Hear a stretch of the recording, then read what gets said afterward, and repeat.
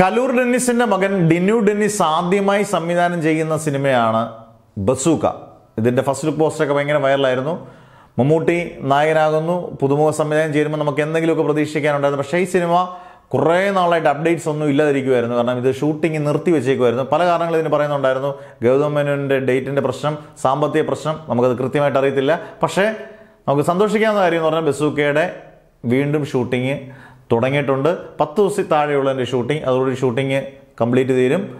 പിന്നെ അതിന്റെ release date ഒക്കെ പ്രഖ്യാപിക്കും ബാബുവാനണി ഗൗതം വാസുദേവ് ഗൗതം വാസുദേവ് മേനോൻ അതുപോലെ തന്നെ നമ്മുടെ സിദ്ധാർത്ഥ ഭരതൻ ഒക്കെ അഭിനയിക്കുന്ന നമുക്ക് പ്രതീക്ഷ അർപ്പിക്കാവുന്ന ഒരു മൈൻഡ് ഗെയിമിംഗ് സൈക്കോളജിക്കൽ ത്രില്ലർ എന്ന് പറയുന്ന രീതിയിലുള്ള ചിത്രമാണ് പ്രതീക്ഷിക്കാം.